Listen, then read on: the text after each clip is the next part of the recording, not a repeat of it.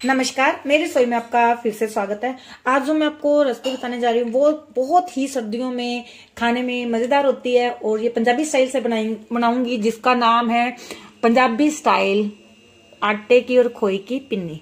जिसके लिए हमें किन किन इंग्लिश के जूते वो मैं सबसे पहले आपको बताती हूँ। सबसे पहले मैंने आटा लिया। आटा मैंने वन के लिया है, खोआ। खोआ मैंने हाफ़ के लिया है। बादाम लिए मैंने। बादाम आप ड्राई फ्रूट कोई भी इस्तेमाल कर सकते हो। चीनी पिसी हुई और हाफ़ के जी मैंने देसी घी लिया है। सबसे पहले मैंने कढ़ाई ली है। कढ़ाई को मैंने गैस पर रख लिया है। पहले मैंने इसके अंदर घी ऐड किया है। पहले आप घी है जो इसका हाफ़ ही यूज़ कीजिएगा। अगर हमें ज़रूरत पड़ी तो हम इसके अंदर और डाल लेंगे।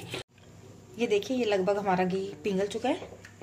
तो इसको थोड़ी सी देर और इसके जो थोड़ी सी घी रहेगा उसको भी हम अच्छी तरह से पिघला लेते हैं। तो अच्छी तरह से पिघलने के बाद हमने जो वन के जी आटा लिया था, उसको डालना स्टार्ट करना है। थोड़ा थोड़ा करके ही डालना पहले आप। एकदम से आप इसको मत डालिएगा, क्योंकि अगर घी कम पड़ा तो हम इसके अंदर और डाल सकते हैं। इस तरह से हमने धीरे धीरे आटे को घी के अंदर ऐड करना है। अच्छी तरह से अब हमने इसको अच्छी तरह से आटे के अंदर ही मिक्स करना है।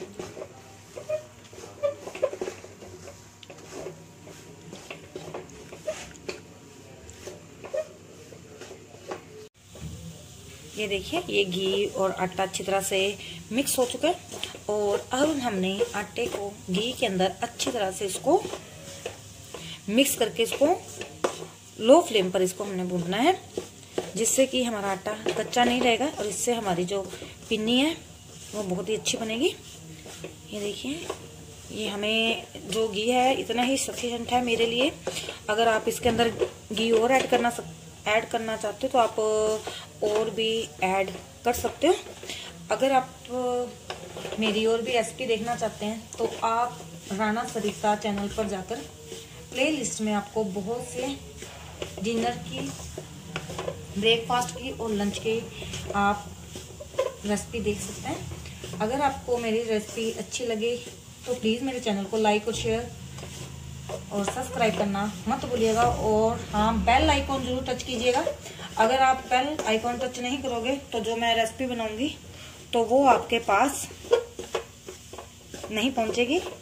तो इसलिए बेल आइकॉन ज़रूर टच कीजिएगा और एक ही बार आपने बेल आइकॉन टच करना और एक ही बार आपने सब्सक्राइब के बटन को टच करना है। अगर आप बार बार उसको टच करोगे तो आपका चैनल अनसब्सक्राइब हो जाता है।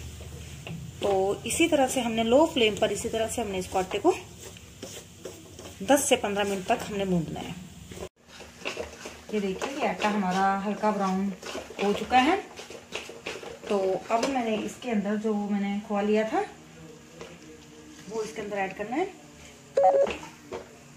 अगर आप खोई की रेसिपी देखना चाहते हो तो आप आई बटन पे क्लिक कीजिएगा और वहाँ पे आपको खोई की रेसिपी मिल जाएगी, जो कि मैंने होममेड खोआ बनाया है। तो इस तरह से हमने लो फ्लेम पर ही खोए को डालना है, आटे के अंदर। तो इस तरह से ये देखिए, ये बहुत अच्छी तरह से रेडी हो रहा है। ये देखिए, ये हमने खोए को और आटे को अच्छी तरह से मिक्स कर लिया है। अब मैंने इसको थोड़ी सी देर के लिए, गैस को मैंने बंद कर दिया ठंडा होने के लिए छोड़ना है। ये हमने खोए को और आटे को हमने अच्छी तरह से मिक्स हो चुका है। ये हल्का ठंडा हुआ है, हमने पूरी तरह से ठंडा नहीं करना है। तो अब मैंने इसके अंदर जो मैंने बादाम लिए थे, उनको काट लिया था, वो इसके अंदर मैंने ऐड कर लिया है।